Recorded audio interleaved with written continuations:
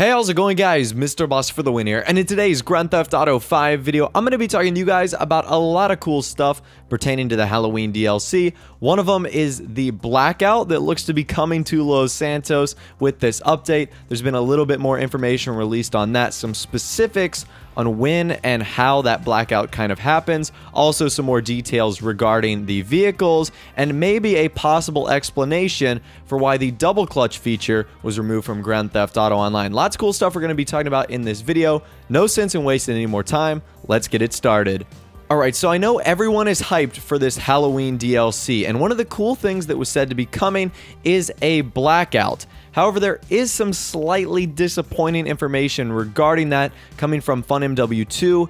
It looks as if the blackout isn't for GTA Online free mode, it's only going to be featured for Halloween jobs. And there's only one Halloween job so far, and it's the Slasher adversary mode, which is a really cool adversary mode where apparently you can like only see if you use the flashlight, the weapon that comes with this update. There isn't a whole lot of information on that adversary mode, but from what I've heard and from what I've seen, it is going to be one of like, it, it's going to literally be like it's out of a straight up scary movie uh, where you've got like a flashlight and that's your only uh, weapon of visibility and your only uh, way to see in the pitch black darkness. But it doesn't look as if Los Santos is going to be turned into permanent darkness.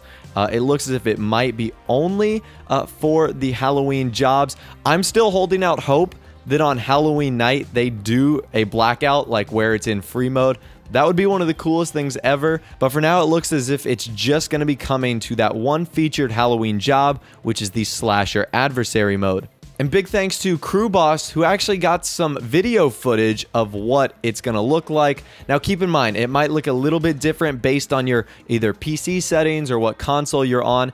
But let's just say it is very, very dark. It's hard for me to even see this gameplay, so I'm hoping you guys will be able to as well. It's going to be very dark. Uh, here's some of the pictures as well of what it looks like. Some crazy like Vice City light style going on in the background. It's going to be pretty cool. I am very excited for this update, uh, and especially for the blackout if it looks as cool as this. So it's definitely enticed me to play the slasher adversary mode because that's one of the things that I, I really haven't gotten into adversary modes. Uh, but if the slasher is awesome and if it has a blackout, that's definitely something I'm going to be interested in.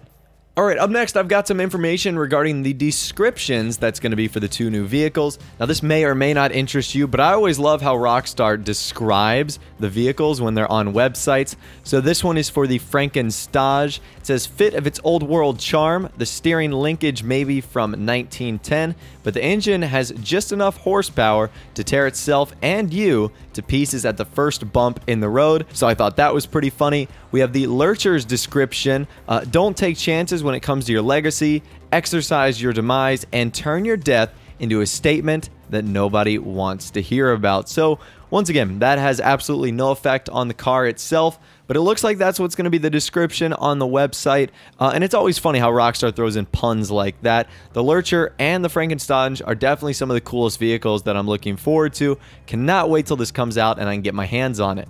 And Crewboss also has a possible explanation for why the double clutch feature was removed. That was actually something we talked about a few days ago that was affecting the racing and drifting community. And I tried to give my best simple description of what that was. You guys definitely help me out in the comments section down below but he thinks it's because uh, of the new lowriders that were added. He states the reason double clutch was removed from GTA 5 was because the handling of the lowriders conflicted with the transmission somehow.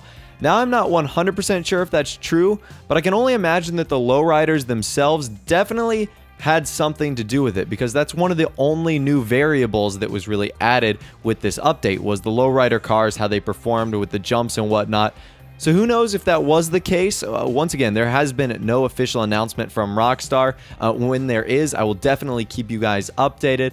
But for now, it's anyone's guess as why that was removed. I'm sure Rockstar has their reasoning, uh, and I'm sure if they do listen to the community, which they definitely do, uh, that this will be put back into the game. It's probably just a matter of coding and working around the lowriders, so we just have to be patient, and who knows, whenever this new update does come out, it might be fixed, so they might already be aware of it and just haven't really announced their plans of trying to fix it. But anyways, that's all the information that I'm going to be talking about to you guys today. Hopefully you guys did enjoy. The blackout looks awesome. I'm excited for the new vehicles and hopefully this new double clutch thing is fixed soon. Let me know what you think in the comments section down below. If you did go on to enjoy the video, a like rating would be awesome. And of course, subscribe to my YouTube channel if you are new or you like daily Grand Theft Auto 5 videos like this. With out of the way, guys, like I said, thanks for watching. Take care, and I'll see you guys in the next video.